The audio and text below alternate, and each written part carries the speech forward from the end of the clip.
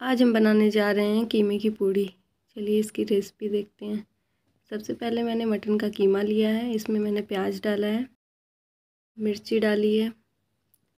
अब इसमें मैंने धनिया पाउडर डाला है, हल्दी पाउडर डाला है, गरम मसाला, नमक, अदरक, लहसुन पेस्ट डाला है। अब इसमें हम खड़ा जीरा डालेंगे, तेल डालेंगे। अब इसमें हम धनिया की पत्ती डालेंगे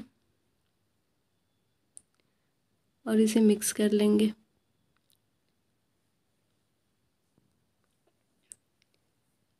मिक्स हमने कर लिया है। मैंने आटे में नमक डाल कर पहले से इसे तैयार रखा है।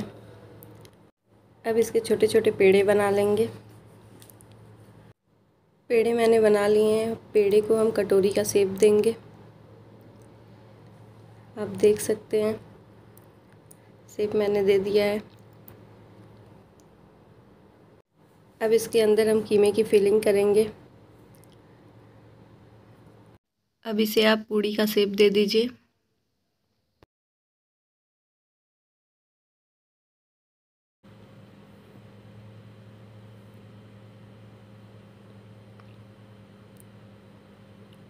पूड़ी को मैंने हाथों से दबा दबा कर अच्छे से बना लिया है।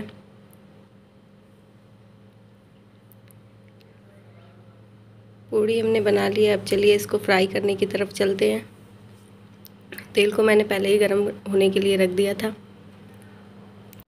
अब हम इसको मीडियम फ्लेम पे फ्राई करेंगे। आप इसे पलट लीजिए, फ्राई कर लीजिए अच्छे से।